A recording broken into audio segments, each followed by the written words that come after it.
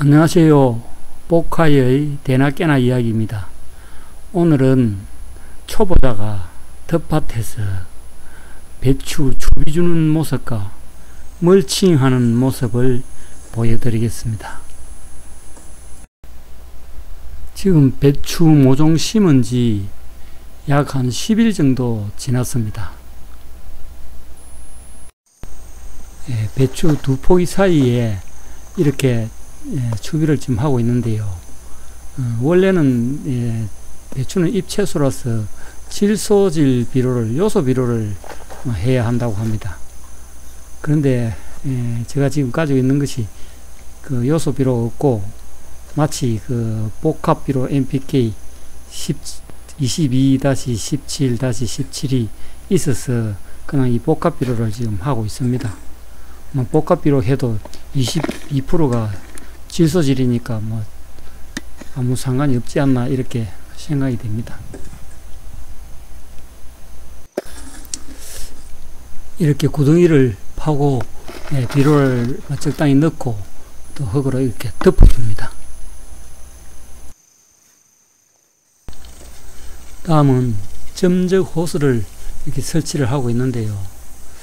예, 멀칭을 하고 나면은 점적 호스를 하지 않아도 뭐 되지 않나 싶긴 합니다만 예, 이곳은 또 산중턱이고 황토밭이라 그 조그만 날이 감으면 어, 토양이 굉장히 많이, 많이 마릅니다. 그래서 어차피 예, 간수시설에 옆에 떼어 있고 해서 점적 호스를 설치를 하고 있습니다.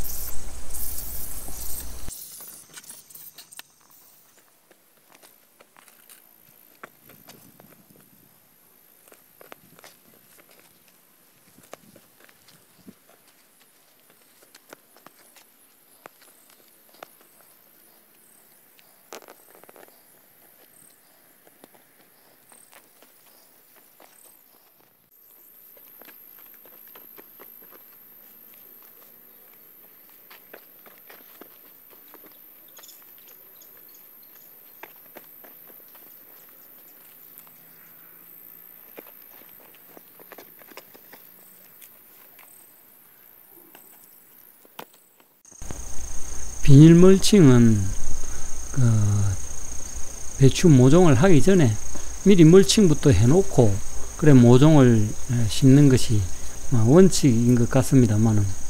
예, 저는 이곳에 그 창기를 베어내고 개비를 하고 로타리를 하고 바로 그 배추를 심어 보니까 멀칭을 하고 나서 배추를 심으니까 그 대비가 그 가스가 발생해 가지고 이 모종이 잘 안 살고 작년에 해보니까 죽더라고요. 그래서 올해는 그 배추부터 심어 놓고 오늘 한 열흘 있다 이렇게 뒤에 예, 멀칭을 합니다.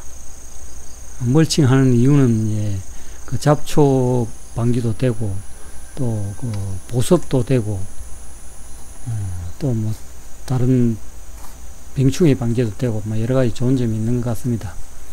여기는 또 뭐 가뭄을 많이, 많이 타는 그런 토질이라 반드시 멀칭을 해야 배추가 제대로 되는 것 같습니다.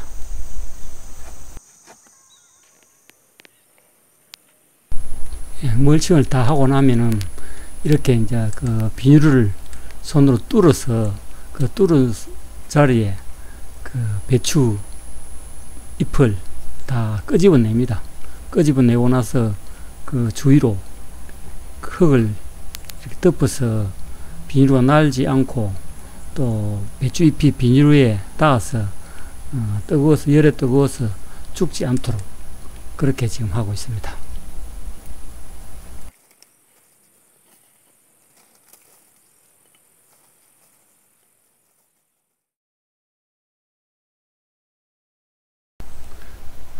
예, 배추 추비와 예, 멀칭 작업이 다 되었고요.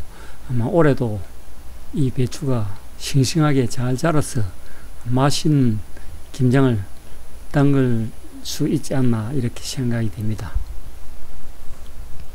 예, 지금까지 복화의 대낮깨나 이야기 초보자가 하는 배추 추비 및 멀칭 작업이었습니다.